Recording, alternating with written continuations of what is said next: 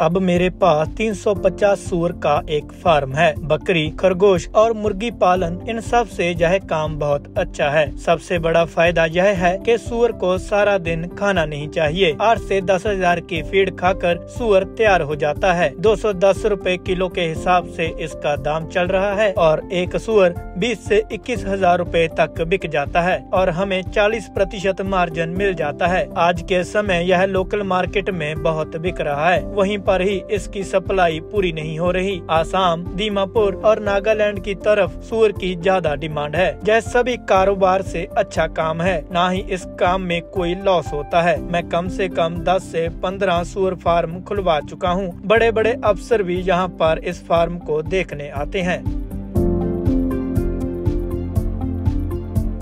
Sir, मेरा नाम हरप्रीत सिंह है।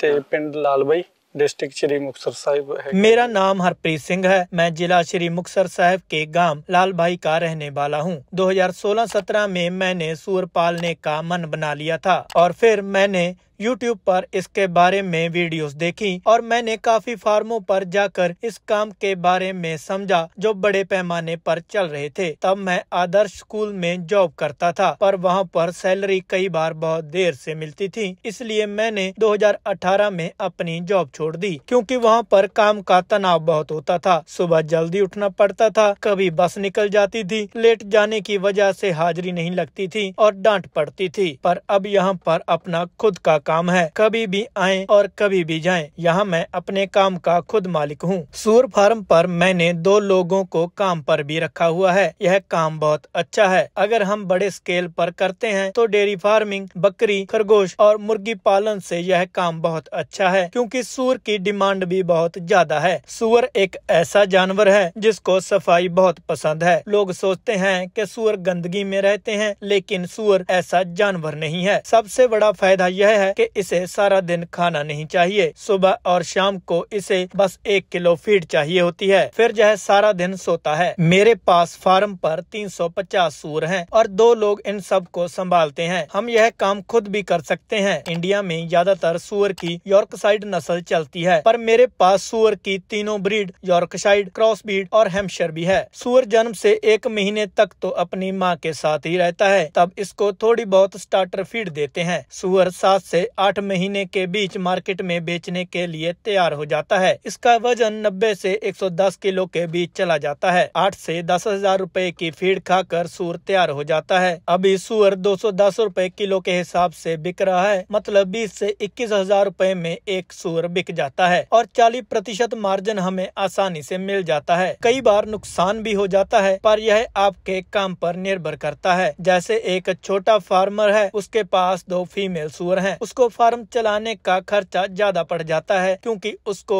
शेड का भी खर्चा होता है और लेबर और बिजली का खर्च अलग से करना पड़ता है। दूसरी तरफ़, अगर एक व्यक्ति के पास पचास फीमेल सूर हैं तो उसका खर्चा बढ़ जाता है और उसकी इनकम बढ़ जाती है। एक फीमेल सूर पाँच बच्चों से लेकर बीस बच्चों को जन्म देती है। इनमें से अगर आप नौ से दस बच्चों को बचा लेते हैं तो आप इस धंधे में कामयाब हो सकते हैं। कई बार किसी नई बीमारी या वायरस के कारण सूरों का काफ़ी नुकसान होता है और इसी के चलते पिछले समय में पंजाब में बहुत सारे सूअर फार्म बंद भी हुए हैं। सूअर फार्म खोलने के लिए सरकार की तरफ़ से तो किसी प्रकार की कोई सुविधा नहीं है। सूअर को बीमारी से बचाने के लिए एक दो वैक्सीन होती हैं, वह लगवाते रहना चाहिए। बाकी यह सफ़ाई पसंद जानवर है, अगर फार्म में सफ़ाई है तो किसी तरह की कोई परेशानी नहीं होती। आज के टाइम सुअर लोकल मार्केट में ही बिक रहा है, वहाँ पर ही इसकी सप्लाई पूरी नहीं हो रही। आसाम दीमापुर और नागालैंड की तरफ़ सुअर की ज़्यादातर डिमांड है। डीलर भी बहुत हैं जो गाड़ियाँ भरकर सुअर खरीद कर ले जाते हैं और वहाँ जाकर बेच देते हैं। सुअर के छोटे बच्चे गर्मी और सर्दी में ध्यान से रखने पड़ते हैं। गर्मी में बड़े जानवरों को परेशानी होती है, लेकिन मेरे फार्म पर शेड बाँस का बना हुआ है, जो गर्मियों में ठंडा और सर्दियों में गर्म रहता है। शेड पर ज़्यादा खर्च करने की ज़रूरत नहीं है। अगर कोई नया सूर फार्म खोलता है तो उसे शेड पर भी ज़्यादा खर्चा नहीं करना चाहिए। शेड जितना सादा ज़्यादा होगा, उतना अच्छा है। जो पैसे आपने शेड पर खर्च करने हैं, उसकी बजाय आप सूर पर लगाएँ, जो ज़्यादा कमाई देंगे। आप अपने बजट के हिसाब से सूर रख कर यह काम शुरू कर सकते हैं। आज के समय में सूर पालन के धंधे का स्कोप काफ़ी अच्छा है। यह काम सभी तरह के कामों से अच्छा है। अगर आप इस काम को बड़े स्केल पर करेंगे तो किसी तरह का नुकसान नहीं होगा। सरकार की तरफ़ से सूर फ़ार्मिंग के लिए लोन दिया तो जाता है, पर इसके लिए फॉर्मेलिटीज बहुत ज़्यादा पूरी करनी पड़ती हैं, जो आम तौर पर पूरी ही नहीं होती। सूर पालने की ट्रेनिंग प्राइवेट तौर पर भी बहुत सारे लोग दे रहे हैं और यूनिवर्सिटी भी इसकी ट्रेनिंग देती है। लेकिन जब तक हम खुद इस काम को नहीं करेंगे, तब तक कुछ भी सही तरीके से पता नहीं चलेगा। मैं अब तक 10 से 15 सूर फार्म खुलवा चुका हूँ, जिनमें से दो तीन फार्म तो बड़े पुलिस अफसरों के ही हैं। कुछ लोगों ने मुझसे सूअर लेकर यह काम शुरू किया था और अब वो मुझसे भी बड़े स्केल पर फार्म चला रहे हैं। हमारे पास अच्छी खासी खेती करने के लिए ज़मीन भी है। जब शुरुआत में मैंने यह काम शुरू किया था, तब लोग बोलते थे कि तुम्हारा ज़मीन से पेट नहीं भरा, अब यह नया धंधा करने लग गए हो। कई लोग तो सूअर को गंदा जानवर मानते हैं और इसका नाम तक नहीं लेते, पर अब बड़े बड़े अफसर यहाँ पर मेरा फार्म देखने आते हैं। शुरुआत में घर वाले भी बोलते थे, लेकिन अब कोई कुछ नहीं कहता। अब इस धंधे से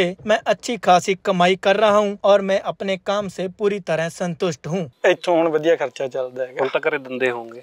ਦਿੰਦੇ ਨਹੀਂ ਤਾਂ ਲੈਂਦੇ ਵੀ ਨਹੀਂ ਹੈਗੇ। ਫਾਰਮ ਤੇ ਲਾਈ ਜਾਂਦੇ ਫਾਰਮ ਤੇ ਲਾਈ ਜਾਂਦੇ ਆ। ਮਤਲਬ ਵਧੀਆ ਕੀਤਾ ਕੋਲ ਹਾਂਜੀ ਹਾਂਜੀ ਵਧੀਆ ਕੀਤਾ ਹੈਗਾ।